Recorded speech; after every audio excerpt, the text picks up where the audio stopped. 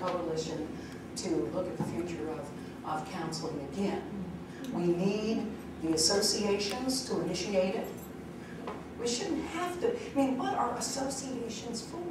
What are professional associations for, except to look after their profession? They're not social clubs. They're not places where people pad their vitas. They need to be places where people care about what is happening to their profession and start to do something about it. We need that, I think, now. We needed it 10 years ago, but we definitely need it now. Hmm. We have licensure. We aren't sitting pretty. What's the future hold for us? We need to be thinking about that seriously, not just as I have time kind of thing. So we, we, now, we weren't nearly as successful in this coalition as I hope we would be. We got people fired up. They went down and, and uh, talked to their legislator about, in fact, we thought we had, I can, I have in many of these artifacts I have, I have a copy of an 80-20 bill that somebody even had the Legislative Service Commission draft for us. And we thought we had the chair of the Education Committee who was going to introduce it. We worked hours and hours trying to get this guy to introduce it. And after you know, he did his appropriate, whatever he had to do to placate, one of the people that was with us was in his district and had given money to him and so on, but not a lot, because he was an educator, not a lot. But they'd given some money to him. And uh, we thought we were going to get him, he said no, because he believed in local control of the schools. If the principal wanted the counselor to do something else, that was okay. That's what the, the principal should be able to do it. So schools are a very different milieu in which to work. They're a very different milieu in which to work.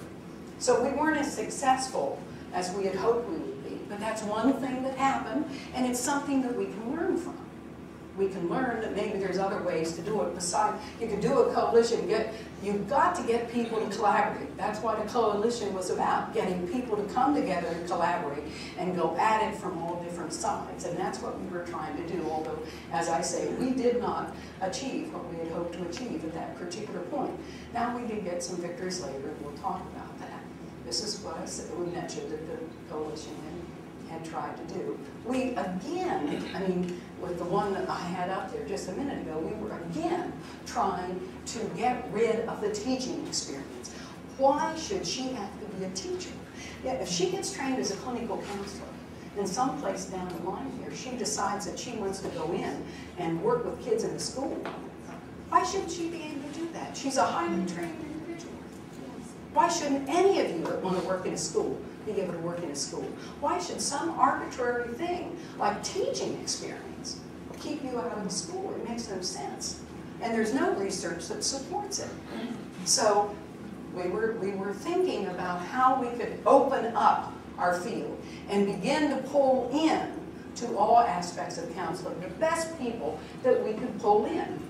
We were turned down again and again and again by the Ohio Department of Ed. If you want to find a, an organization, that um, an entity, an establishment that is old, old school, ODE is where it is. it is old, old in their thinking, in their rules, in their regulation, old, old.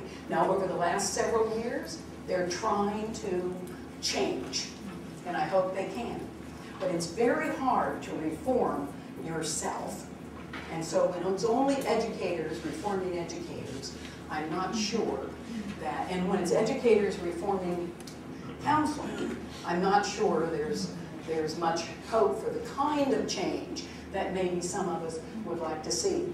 Now, so we had gone twice.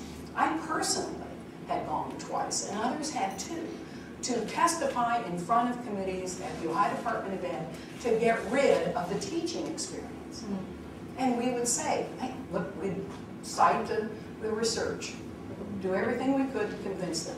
And it was always a polite, no thank you. Things are going to stay as they are. Or in that one instance, as I told you, went from one to three years, kind of like, hey, you know? Come back again anytime you want, we'll do what the heck we want. You know, it doesn't make any difference what faction you're on, we'll do what we want. So in 1998, and I had decided then at that point, no way, it's not going to happen. We are never going to get rid of the teaching experience. In 1998, there was a national movement in school counseling called Transforming School Counseling. And this national movement wanted to change the way counselors were being trained. Because one of the things that's happened, as I said before, now a lot of the counselor educators, and there's several of them here, and you probably want to throw something at me when I'm done, I'm sorry. But these, this is how I feel, and I was invited to. so take it out on David. but this, this group says, hey, look, they're training school counselors only to see individual clients. Now, if you've got a caseload, now it's not, it's more than 400 to 1. There's no student to counselor ratio, so it could be a 1,000 to 1 in some middle schools. You can't carry 35 students a week and not see anybody else. I mean, that's not the way it works. Schools are not going to tolerate that.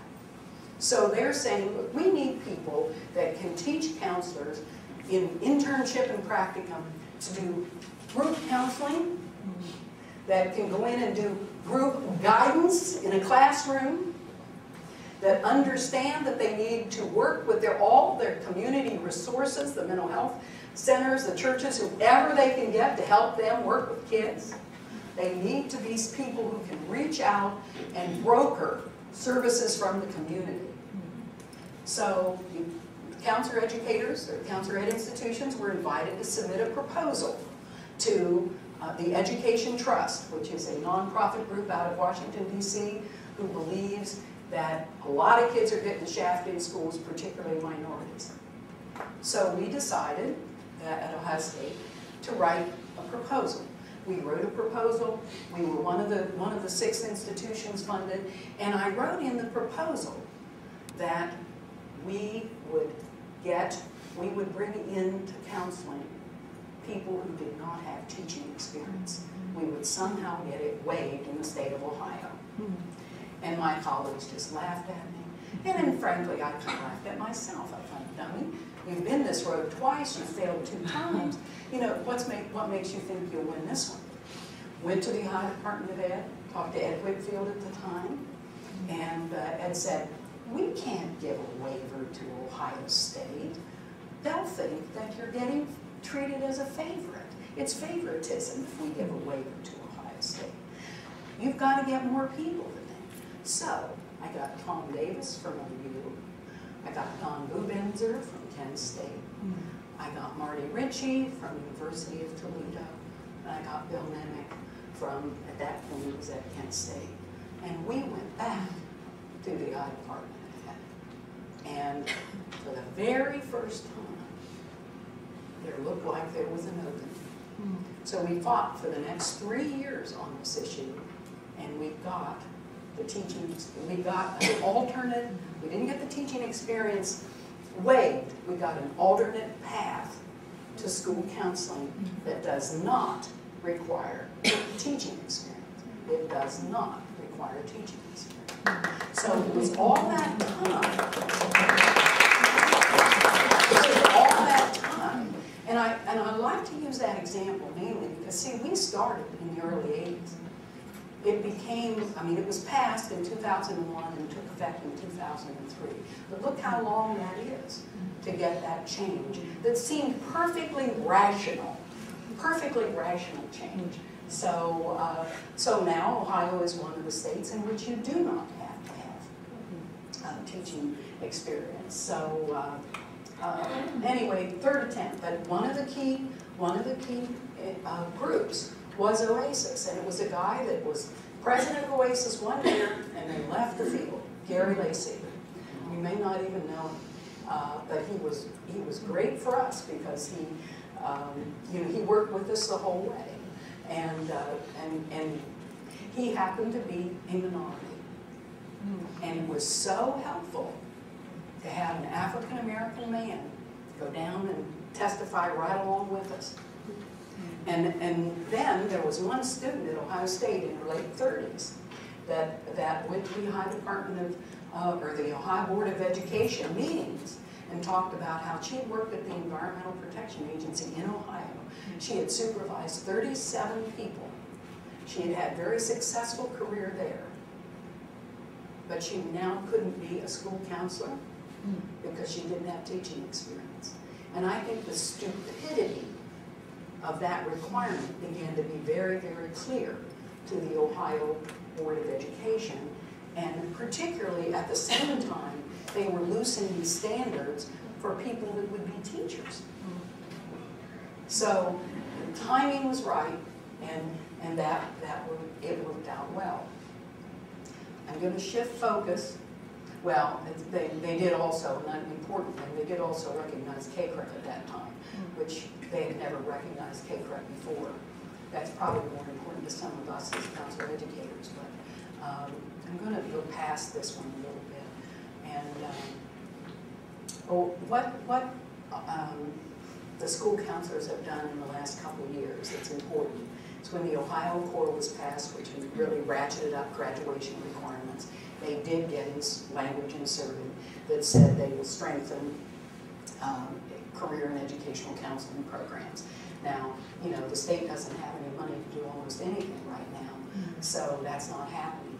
Additionally, in 2009, in the governor's ed, Governor Strickland's ed reform plan, uh, a ratio of one to 250 was put in the ed reform, put in the governor's ed reform, reform plan, and it was passed. But again, there's no money to really implement some of the, the reform that the governor did get enacted. So right now, that, that's nowhere. But if money, if the economy comes back and the state comes back, then maybe there'll be some money for something.